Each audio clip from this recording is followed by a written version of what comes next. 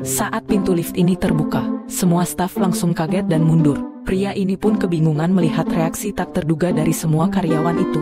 Dia yang merupakan anak magang baru langsung main masuk ke dalam lift. Saat pintu lift ini tertutup, pria ini segera menyapa sebelahnya. Tapi begitu melihat kakek tua di sampingnya, dia pun terkejut melihat outfit kakek yang sangat mahal. Tanpa basa-basi pria ini langsung mengambil HP-nya dan meminta si kakek untuk foto bersama. Mereka malah kebablasan selfie. Saat pintu lift terbuka kedua atasan pria ini pun melongo melihat kelakuan si anak magang. Tiba-tiba hati mereka berdua jadi tidak karuan. Karena bisa-bisanya si anak magang sangat akrab dengan sang direktur.